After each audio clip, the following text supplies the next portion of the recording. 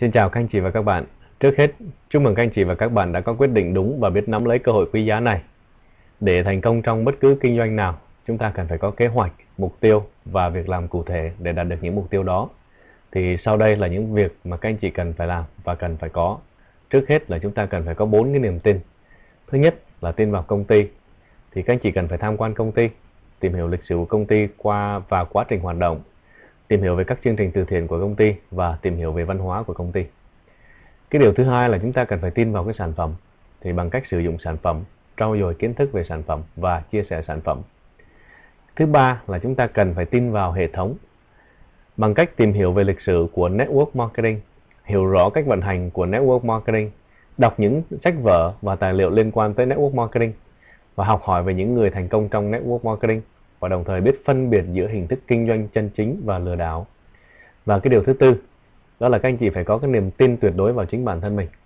Cho nên chúng ta cần phải có những cái kế hoạch hành động cụ thể, đọc các sách vở và sách nói về cách toàn thiện bản thân, gặp gỡ và trao đổi với những người thành công.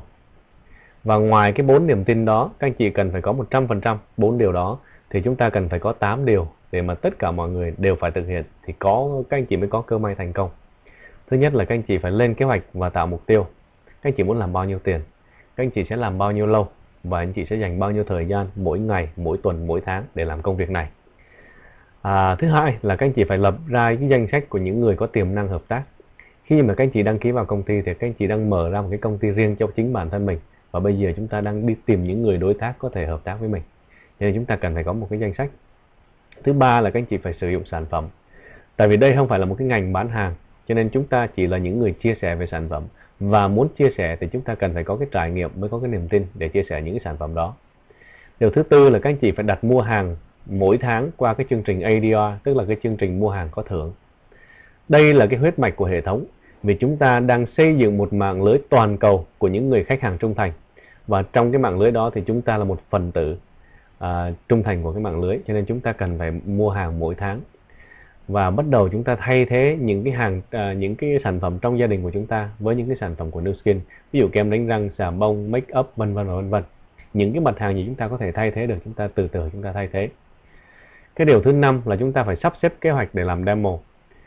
Um, người ta vẫn có câu nói là thấy mới tin.